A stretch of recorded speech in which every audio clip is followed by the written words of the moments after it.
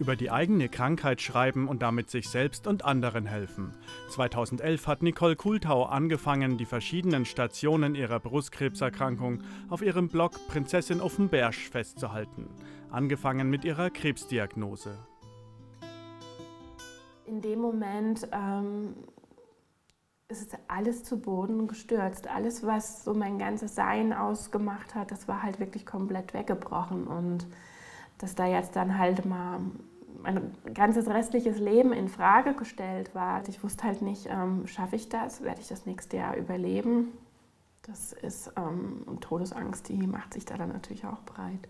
Trotz aller Hoffnung, trotz allen Mutes, den man, sich in, den man in sich trägt. Immer wieder meldeten sich Patientinnen bei der Aschaffenburgerin, weil sie sich in den Schilderungen verstanden fühlten. Viele wurden zu Freundinnen. Dieser Austausch war ja auch in Zeiten wichtig, in denen sie zu kraftlos war, um ihre geliebten Bücher zur Hand zu nehmen. Manches Mal, wenn es halt ganz, ganz schlimm schien, dann habe ich ganz, ganz laut gebrüllt, also wirklich richtig laut. Und das hat mir aber dann wiederum geholfen, mich im Hier und Jetzt zu verankern. Ein großer Hoffnungsanker für die alleinerziehende Mutter war immer die Liebe zu ihrem 20-jährigen Sohn.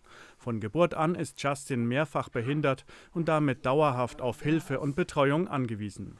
Bei der Vorstellung, ähm, dass wir unsere Kinder alleine zurücklassen müssen, und ähm, das ist natürlich eine Horrorvorstellung. Und wenn man dann auch noch alleinstehend ist, vielleicht noch mal so sehr als Mutter, ähm, weil was wird mit dem Kind, wenn mir was passiert?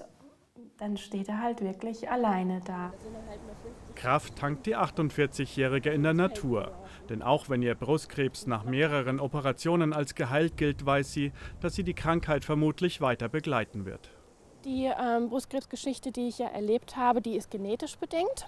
Das heißt, ähm, es besteht ein gewisses Risiko, dass ich erneut erkranken kann. Oder aber es ist mir halt eben auch bewusst, ähm, dadurch, dass der Krebs damals hormonell bedingt war, dass ich noch äh, auf die nächsten Jahre hinaus ein Risiko ähm, habe, an Metastasen zu erkranken. Angehörigen von Patienten rät sie, sich auch mit gut gemeinten Ratschlägen zurückzuhalten.